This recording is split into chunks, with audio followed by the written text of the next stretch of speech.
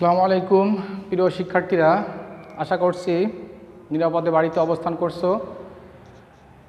Online ক্লাসে হরিনারায়ণপুর বহুমুখী উচ্চ বিদ্যালয়ের পক্ষ থেকে তোমাদেরকে আবারও জানাচ্ছি আন্তরিক শুভেচ্ছা ও অভিনন্দন। আজ ক্লাস নাইনের ইংলিশ সেকেন্ড পেপারের একটি গুরুত্বপূর্ণ আইটেম নিয়ে আলোচনা করব। সেটি হলো জিরান্ড অ্যান্ড পার্টিসিপল প্রিয় শিক্ষার্থীরা জিরান্ড অ্যান্ড পার্টিসিপলকে আলাদা করতে গিয়ে তোমরা অনেক সময় বিভ্রান্তিতে পড়ে যাও, কোনটা জিরান্ড, কোনটা পার্টিসিপল। কি করে চিনব জিরান্ড এবং পার্টিসিপল? জিরান্ড কি, পার্টিসিপল কি? প্রিয় শিক্ষার্থীরা, যদি তোমরা ক্লাসটি অনুসরণ করো, তাহলে বুঝতে পারবে জিরান্ড এবং পার্টিসিপলের তফাতটা কি এবং কি করে আমরা জিরান্ড ও পার্টিসিপলকে আলাদা করে চিনতে পারব এবং বুঝতে পারব। তো প্রিয় শিক্ষার্থীরা, চলো উপভোগ করি জিরান্ড ও পার্টিসিপলের উপরে আজকের ক্লাসটি। প্রিয় শিক্ষার্থীরা, খেয়াল করো।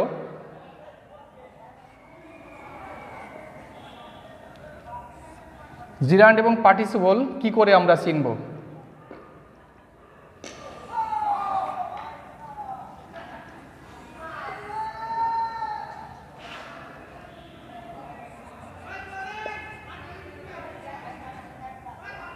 জিরান্ড এবং এখানে পার্টিসিপল। পার্টিসিপল খেয়াল করো। জিরান্ড কাজ করবে ভার্ব এবং নাউনের। এবং পার্টিসিপল কাজ করবে ভার্ব এবং অ্যাডজেক্টিভের। অর্থাৎ দুটি ভার্ব অন প্লাস আইএনজি।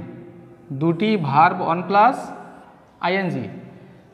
কিন্তু যখন জিরান্ড হবে, তখন ভার্ব ভার্বের কাজ করবে এবং নাউনের কাজ করবে। যখন পার্টিসিপল হবে, তখন ভার্বের কাজ করবে প্লাস অ্যাডজেক্টিভের কাজ করবে।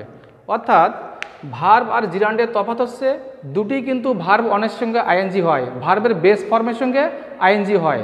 কিন্তু যখন ওই শব্দটি ভার্ব এবং একই সময়ে নাউনের কাজ করবে, তখন সেটা জিরান্ড হবে এবং যখন ভার্বের কাজ করবে, একই সময় অ্যাডজেক্টিভের কাজ করবে তখন সেটা পার্টিসিপল হবে। কয়েকটি এক্সাম্পল দিলে তোমরা সহজে বুঝতে পারবে।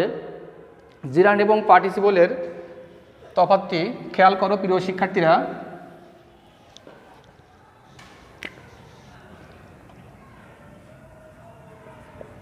Walking in the morning is walking in the morning is good for health. Walking in the morning is good for health এইখানে ভার্ব অনের সঙ্গে আইএনজি রয়েছে। ভার্ব অন রয়েছে প্লাস আইএনজি রয়েছে। তাহলে এটা জিরার না পার্টিসিপল যদি আর একটা বাক্য আমি লিখি, তাহলে বুঝতে পারবে do not get into the running bus. প্রিয় শিক্ষার্থীরা, এখানেও ভার্ব অনের সঙ্গে আইএনজি রয়েছে। এখানেও ভার্ব অনের সঙ্গে আইএনজি রয়েছে। কিন্তু কোনটা জিরান্ড কোনটা পার্টিসিপল খেয়াল করো, যখন ভার্বের সঙ্গে আইনজি যোগ করা হয়, তখন সেটা নাউনের কাজ করে। এখানেও ভার্বের সঙ্গে আইন যোগ করা হয়েছে, কিন্তু এটা পার্টিসিপল এটা পার্টিসিপল পার্টিসিপল এবং এটা হচ্ছে জিরান্ড। কেন জিরান্ড? কেন পার্টিসিপল? খেয়াল করো। Running bus don't get into the running bus চলন্ত বাসে উঠো না। অর্থাৎ এই শব্দটি এই নাউনের এই নাউনের দোষ গুণ অবস্থা বর্ণনা করছে। অর্থাৎ যখন কোনো নাউনের দোষ গুণ অবস্থা বর্ণনা করা হয়, তখন সেটা অ্যাডজেক্টিভের কাজ করে। একইভাবে ভার্ব রান হচ্ছে ভার্ব তার সঙ্গে আইএনজি ভার্বের কাজ করছে, একইভাবে অ্যাডজেক্টিভের কাজ করছে, কারণ বাস নাউনের অবস্থা বর্ণনা করছে। কেমন অবস্থা? রানিং বাস চলন্ত গাড়ি। সেজন্য ওটা অ্যাডজেক্টিভের কাজ করছে প্লাস ভার্বের কাজ করছে। যখন অ্যাডজেক্টিভ এবং ভার্বের কাজ করবে, তখন সেটা অবশ্যই পার্টিসিপল হবে। কিন্তু এখানে দেখো ওয়াক ভার্ব ওয়াক ভার্ব তার সঙ্গে আইনজি করে কি করা হয়েছে? নাউন করা হয়েছে। অর্থাৎ ভার্বের কাজ করছে প্লাস নাউনের কাজ করছে। আর যখন ভার্ব এবং নাউনের কাজ করবে, তখন সেটা কি হবে? অবশ্যই জিরান্ড হবে। এখানেও ভার্বের সঙ্গে আইএনজি রয়েছে এখানেও ভার্বের সঙ্গে আইএনজি রয়েছে অর্থাৎ এই শব্দটা নাউনের কাজ করছে প্লাস ভার্বের কাজ করছে। সে কারণে এটা জিরান্ড এবং এটা ভার্বের কাজ করছে এবং অ্যাডজেক্টিভের কাজ করছে। সে কারণে এটা পার্টিসিপল প্রিয় শিক্ষার্থীরা, মূলত পার্থক্য এখানে যখন ভার্ব এবং নাউনের কাজ করবে, তখন সেটা জিরান্ড এবং যখন ভার্ব ও অ্যাডজেক্টিভের কাজ করবে, তখন সেটা পার্টিসিপল খেয়াল করো, আমরা পার্টিসিপলের কয়েকটা প্রকারভেদ দেখি। পার্টিসিপলকে তিন ভাগে ভাগ করা হয়েছে। Number one present participle present participle number two past participle number three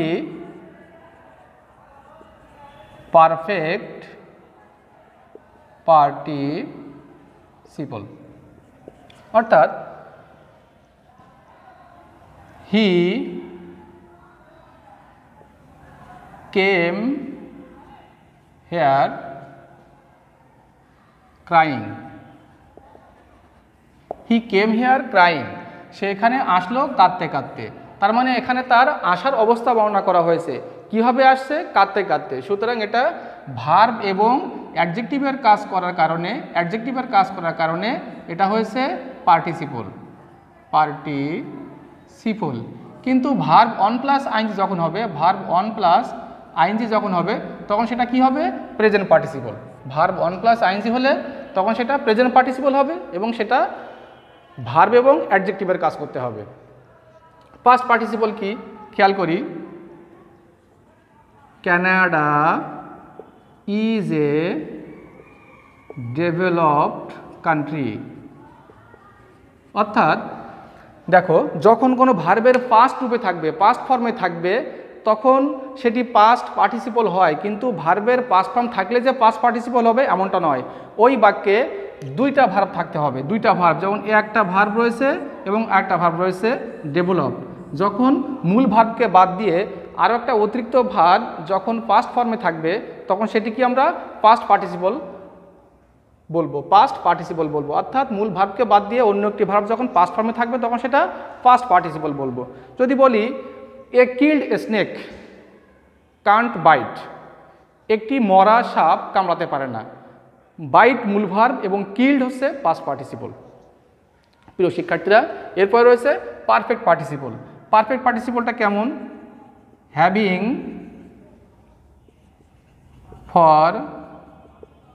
forgotten him we went outside having forgotten him we went outside প্রিয় শিক্ষার্থীরা, খেয়াল করো পারফেক্ট পার্টিসিপলটা কেমন? যখন বাক্যের ভিতরে having having plus verb three থাকবে। হ্যাভিং প্লাস ভার্ব থ্রি থাকবে, তখন সেটি পারফেক্ট পার্টিসিপল হবে। অর্থাৎ having eaten rice, we went to sleep. Having read the book, we gained more knowledge, informations in this way. যখন দেখবে হ্যাভিং এবং verb three, having plus verb three থাকবে, তখন সেটি হবে পারফেক্ট পার্টিসিপল। যখন কোনো বাক্যে দুটি ভার্বের ভিতরে একটি পাস্ট ফর্মে থাকবে, তখন সেটি হবে পাস্ট পার্টিসিপল এবং ভার্ব অনের সঙ্গে আইএনজি থাকবে এবং সেটি ভার্ব এবং অ্যাডজেক্টিভের কাজ করবে, তখন সেটা প্রেজেন্ট পার্টিসিপল এবং পার্টিসিপল হলে অবশ্যই সেই বাক্যে, সেই শব্দটিকে অবশ্যই ভার্ব এবং অ্যাডজেক্টিভের কাজ করতে হবে। প্রিয় শিক্ষার্থীরা, আশা করছি তোমরা জিরান্ড এবং পার্টিসিপল সম্পর্কে ধারণা পেয়েছ। এরপরে যদি কোনো প্রবলেম মনে হয়, তাহলে তোমরা প্রশ্ন করতে পারো। আমি চেষ্টা করব জিরান এবং পার্টিসিপলের উপরে আরও একটি ক্লাস নেওয়ার জন্য। ভিডিওটি দেখার জন্য সবাইকে ধন্যবাদ।